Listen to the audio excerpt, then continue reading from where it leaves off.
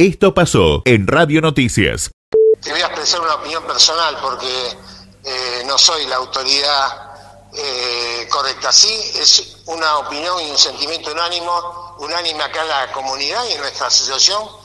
Totalmente imprudente sus declaraciones porque así como no puede determinar, señores, vénganse que esta temporada va a haber un avión ultrasónico acá, tampoco puede determinar o predeterminar que no va a haber temporada porque el coronavirus no lo va a permitir.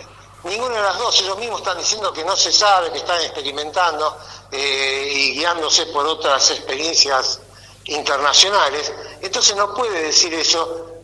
Me parece totalmente imprudente, hace una palabra suave y delicada, imprudente, porque realmente ha interrumpido hasta inclusive operaciones posibles de alquileres o de señas de locales para alquilar. Dele un poco de optimismo, señor ministro, porque la gente está desesperada y esperanzada por poder trabajar. Y si lo único que podemos tener es esperanza y usted pincha el globo, no sabe el daño que puede ser espiritual y, económico, porque realmente hay gente que puede haberse echado para atrás también ya.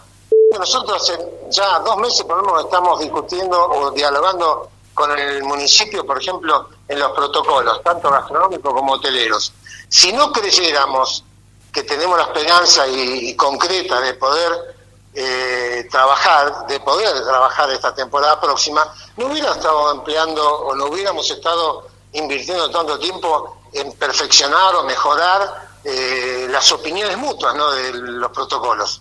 Entonces me parece que realmente fue imprudente porque como mínimo eh, saca la esperanza y el ánimo de, justamente de ambicionar de preparar la temporada lo mejor posible, con todos los condicionamientos que eso significa, ¿no? En la hotelería, en la gastronomía, eh, en los lugares públicos, en las playas, tenemos que trabajar convencidos que sí va a haber temporada, no sabemos de qué forma, si excelente, mediana o mediocre, pero que realmente tenemos que trabajar, tenemos que trabajar.